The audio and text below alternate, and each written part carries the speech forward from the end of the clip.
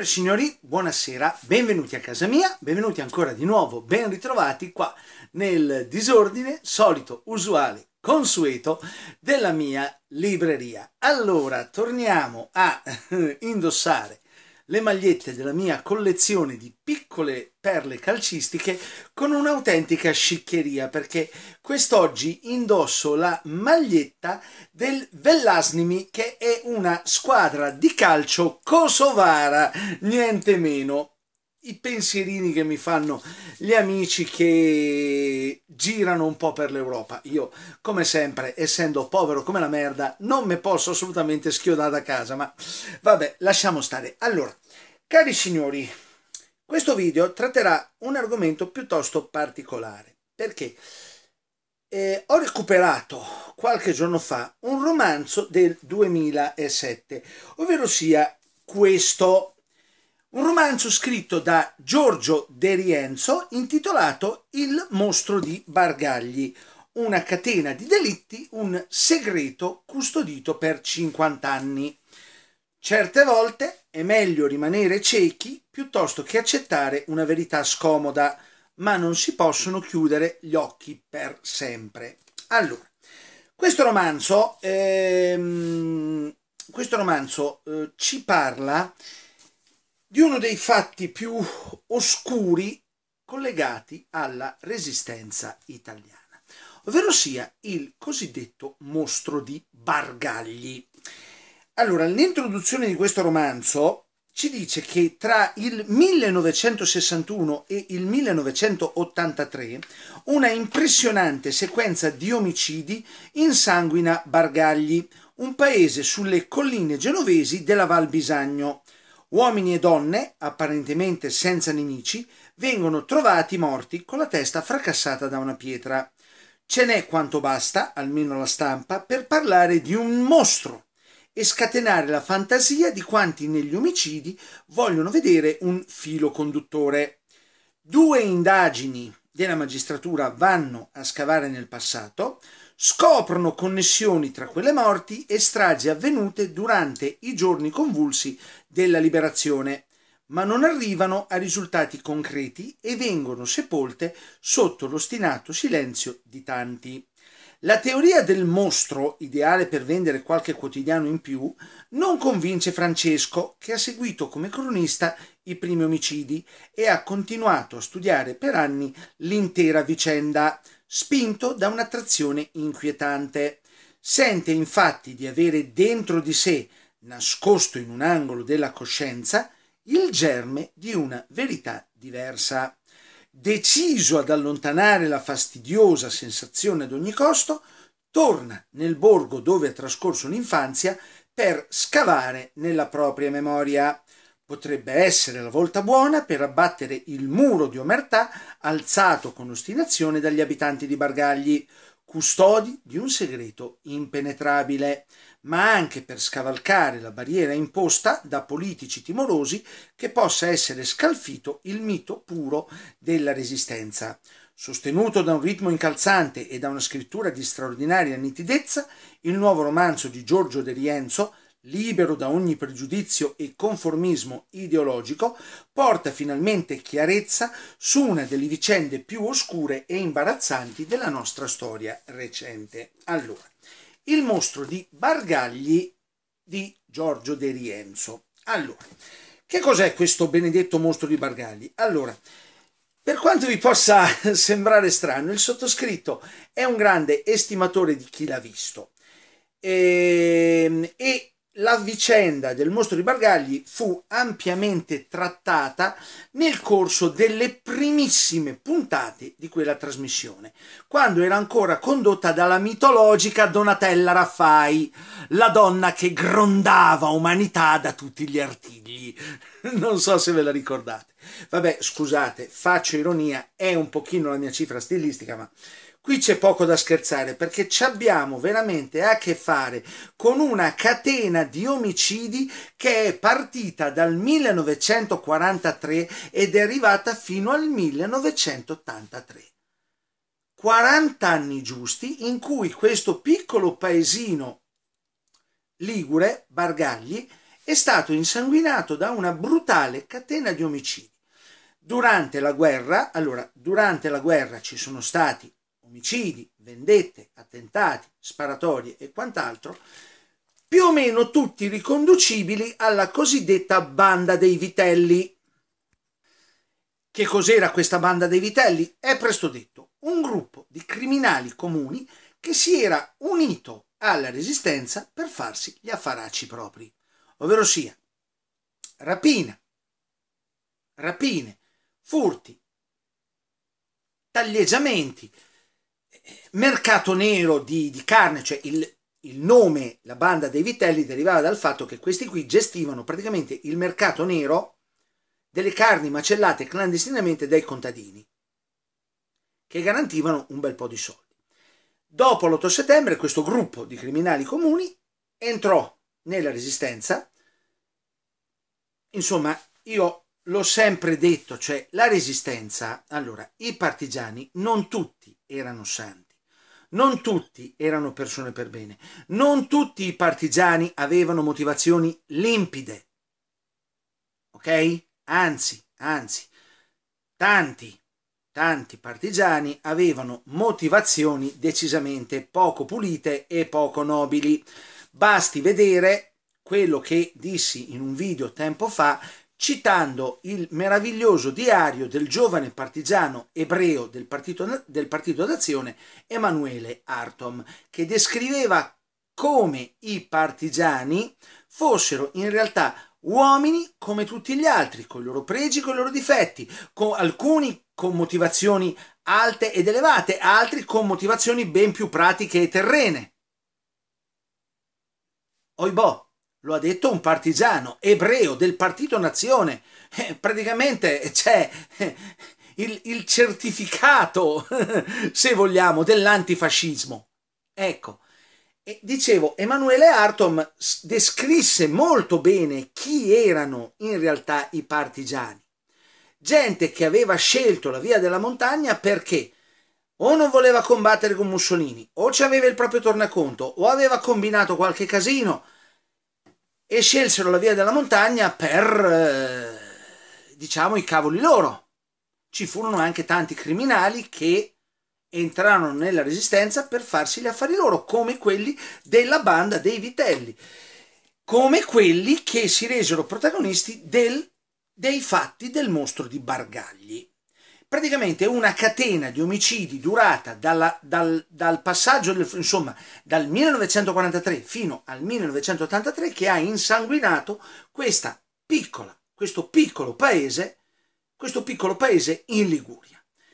E, allora, siamo sinceri, il romanzo di De Rienzo, e sottolineo romanzo, romanzo romanzo, non libro di storia, non libro frutto di ricerche archivistiche e storiografiche, romanzo, opera di fiction, romanzo, romanzo. La sapete la differenza tra romanzo e libro di storia? Mm? Questo romanzo giallo, siamo sinceri, oggettivamente non è un granché non mi è piaciuto molto, ma sia chiaro, non perché parla male della resistenza o perché pretende di svelare un segreto che è stato ferreamente custodito per più di 40 anni. No, è semplicemente perché è un romanzo mediocre. Ehm, io l'ho trovato banale come, come struttura, come modalità di narrazione, io sinceramente l'ho trovato banale. Leggetelo se volete, a me, ripeto, a me personalmente è sembrato banale. Ok? Niente di particolarmente nuovo. Diciamo che ha sfruttato molto furbescamente la scia del sangue dei vinti di panza. Ok? Però almeno questo romanzo, questo romanzo afferma testualmente di essere un romanzo e non un'opera storiografica come pretende di far credere Pansa, ma questo è un altro discorso. Dicevo, il romanzo di De Rienzo, per quanto banale, per quanto non eccelso, può essere utile per far capire una certa mentalità che ha permesso a quelli della banda dei Vitelli di eh, continuare a, ad ammazzare praticamente per 40 anni filati. Perché? Un paesino, allora, lo sapete anche voi, io vivo in un paesino della campagna marchigiana e i paesini delle campagne italiane, delle, delle colline delle campagne italiane, bene o male, sono tutti uguali. Tutti si conoscono fra di loro, c'è un forte senso della comunità, però c'è anche da dire una cosa, c'è una forte omertà. Da sempre, ovunque. L'omertà non è solo una caratteristica della Sicilia o della Campania o della Calabria. Dicevo, praticamente, come dire, una scia di sangue, cioè, dicevo, l'omertà non è una caratteristica esclusiva del meridione d'Italia. L'omertà non è una caratteristica esclusiva del sud Italia. L'omertà è un cancro che divora da sempre il nostro paese. Fateci caso, ok? Allora, dicevo semplicemente questo. Una omertà ferrea, una eh, totale e assoluta incapacità di penetrare il mistero delle cosiddette morti causate dal mostro di Bargagli. Cioè si parla di circa una decina di persone tra il 43 e l'83 ammazzate nei modi peggiori. Un, un appuntato dei carabinieri brutalmente torturato e assassinato, ehm, due partigiani delle brigate Giustizia e Libertà eliminati da una bomba a mano, un uno stillicidio di morti misteriose e brutali che, ripeto, ha segnato violentemente Bargagli per 40 anni, senza che nessuno parlasse. Perché? Ripeto, omertà. La mentalità mafiosa non è una caratteristica propria soltanto del sud Italia, ripeto, ma l'omertà è una caratteristica italiana. Non stiamo tanto a girarci in tondo essere omertosi in Italia è una, è una, condizione in certe zone, anzi per certa gente essere omertosi è una condizione naturale quanto il respirare, il mangiare il, e l'andare in bagno.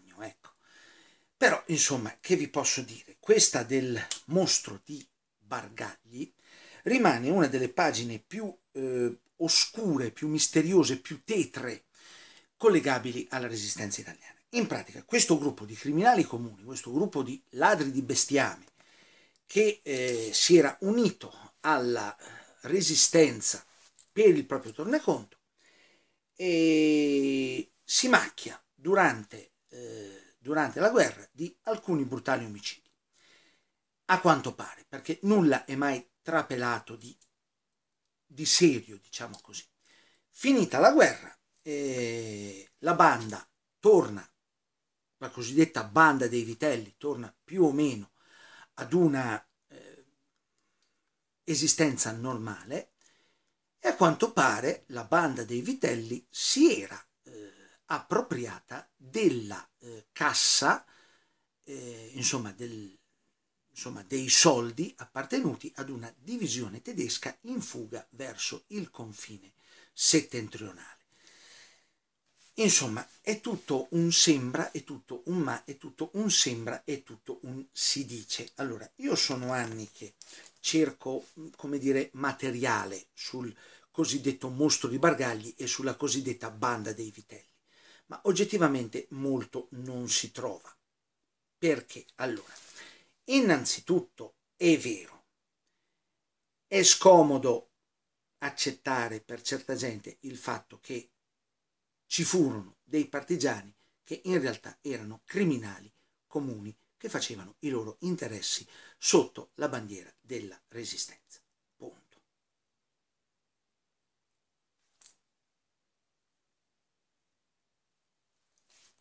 Eh, credo che sia una verità solare.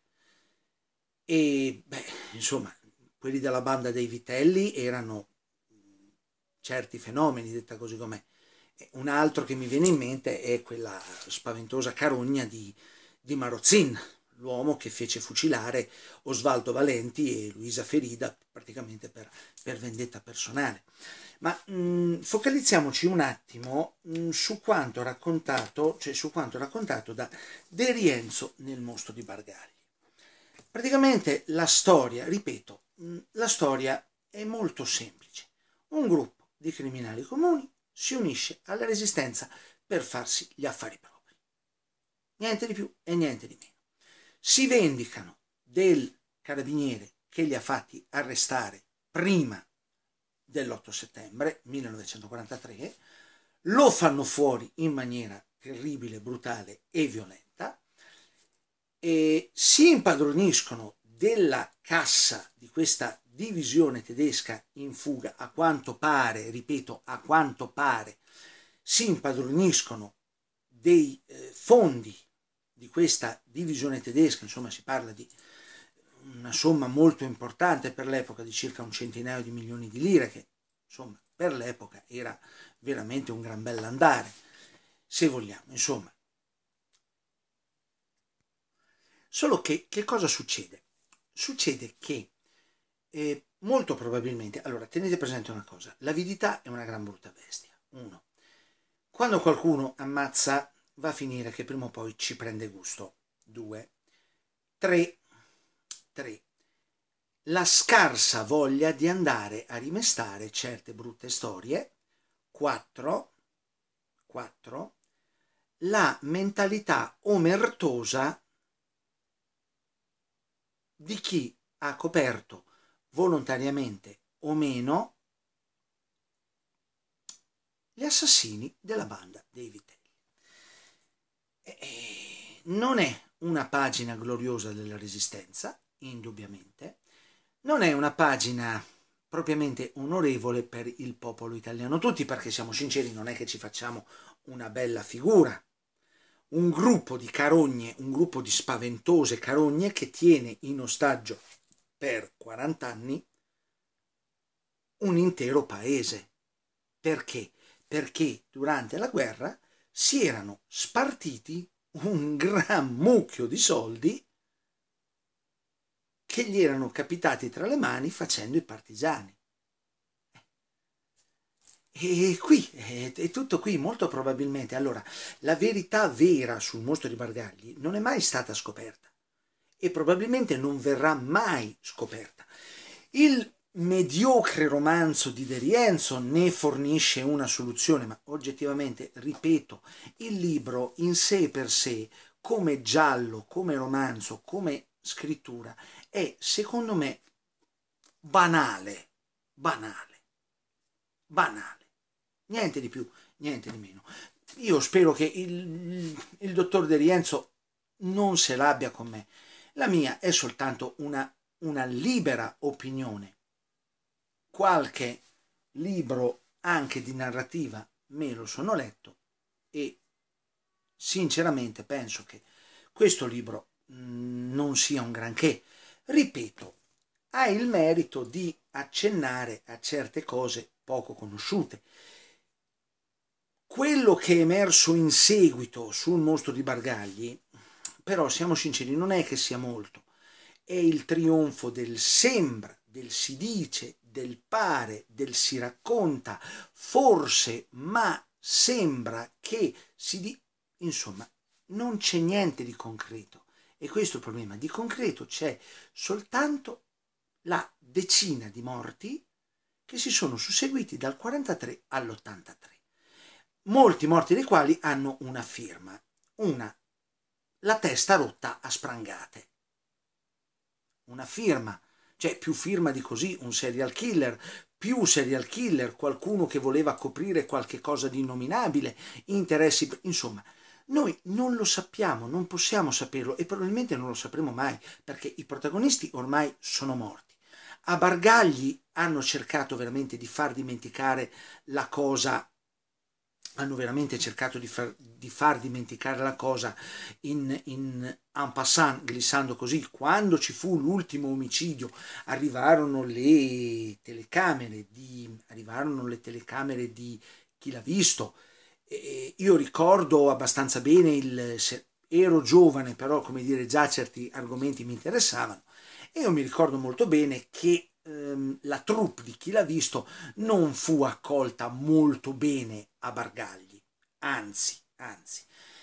Ricordo di aver letto articoli di giornale e servizi televisivi in cui si accennava veramente ad un'atmosfera plumbea, ad, una, ehm, ad un'atmosfera tra virgolette pesante per chi cercava di fare domande in quel paese, né più né meno come quando vai a Corleone e chiedi, come quando andavi a Corleone negli anni Ottanta e chiedevi di, di, di, di Totorina. Più o meno, più o meno, la, più o meno, ripeto, più o meno, la situazione era quella. Insomma, il mostro di Bargagli è stato, ehm, è tuttora uno dei misteri più, eh, più eh, oscuri della storia, della, della, della storia d'Italia.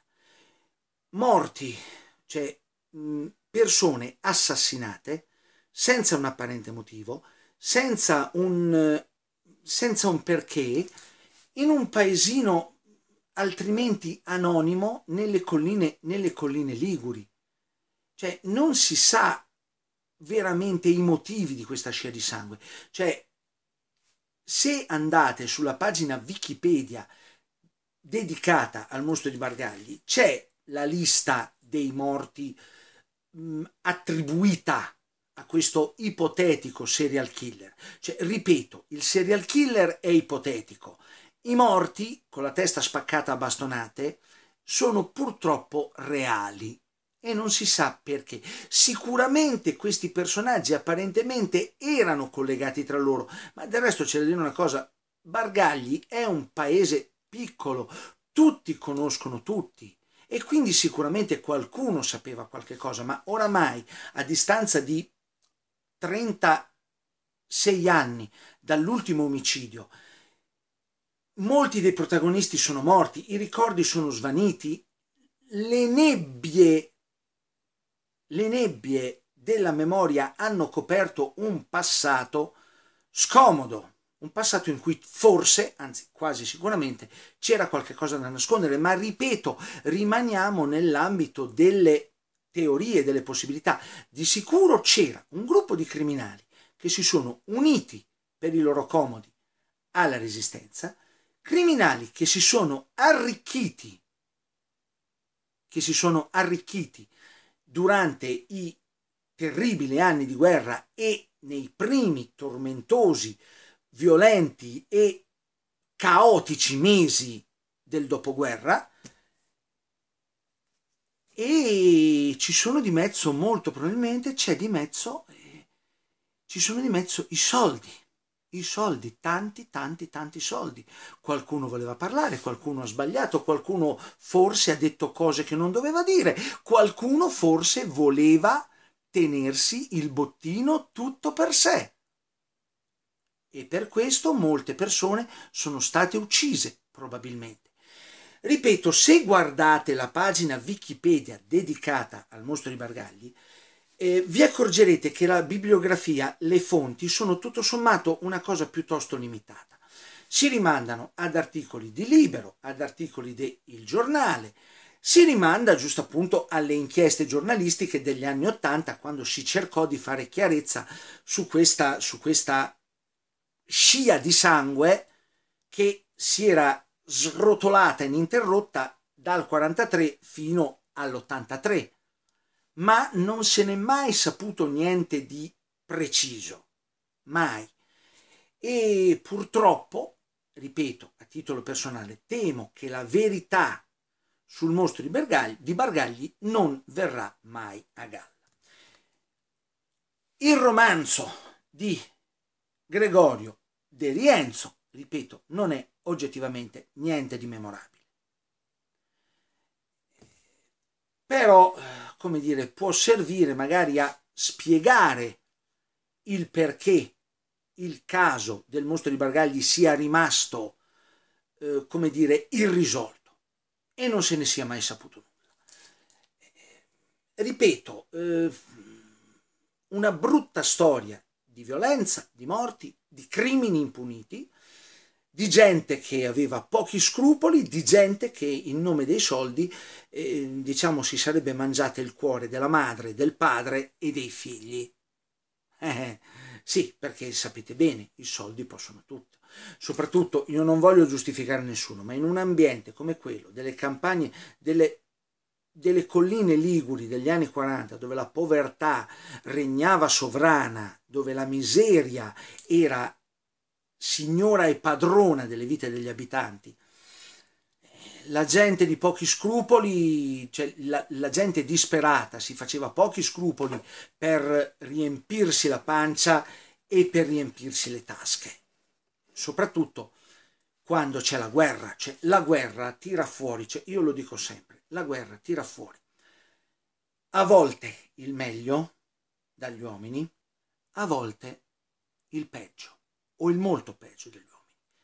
E oggettivamente quelli della banda dei vitelli di Bargagli erano dei criminali comuni.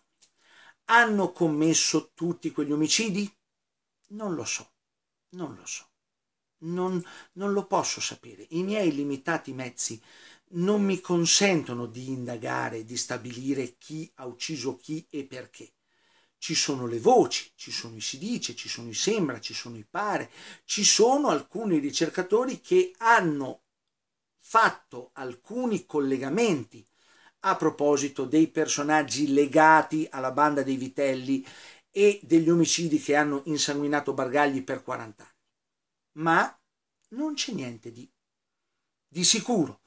E inoltre, in un paesino così piccolo, ripeto, dove è molto facile, dove tutti sanno tutto di tutti, dove tutti parlano, se non stai zitto, se non stai attento, se, se, se non sai tenere la bocca chiusa, è molto facile che ti ritrovino in una via buia con la testa rotta da una sprangata. Perché questo è quello che è successo ad almeno 5 persone dagli anni 60 più o meno fino al 1983. Tutte persone legate alla, insomma, persone legate alle vicende di Bargagli durante gli anni dell'occupazione tedesca e ci sono sicuramente delle cose poco limpide, ma ripeto, si tratta sempre e comunque di ricostruzioni a posteriori che mancano di prove. Ci sono degli indizi, ci sono dei collegamenti, ci sono delle, eh, come dire, cose che si incastrano fra loro, ma non ci sono prove. Perché? Perché l'omertà, l'impossibilità di, eh, come dire, penetrare l'omertà, l'impossibilità di sapere che cosa i testimoni venivano fatti fuori, il tempo ha portato via con sé tutti i testimoni, o quasi. E questo ci impedisce molto, ci impedirà molto probabilmente di conoscere la verità sulla banda dei vitelli e sul mostro di Bargagli. Tutto qui. Quindi, cari signori, ripeto, anche se non è un granché, provate a dare una lettura, insomma, leggetevi un po', procuratevelo questo libro di Giorgio De Rienzo intitolato Il mostro di Bargagli. Ripeto, non è un granché, non mi è piaciuto, ma può rendere l'idea del perché i delitti della banda dei vitelli siano rimasti coperti e impuniti per tutto questo tempo. Tutto qua. Quindi, cari signori, io vi ringrazio tantissimo per l'attenzione come sempre aspetto i vostri commenti, come sempre aspetto le vostre considerazioni, come sempre fatemi sapere che cosa ne pensate, come sempre arrivederci al mio prossimo video e soprattutto ciao!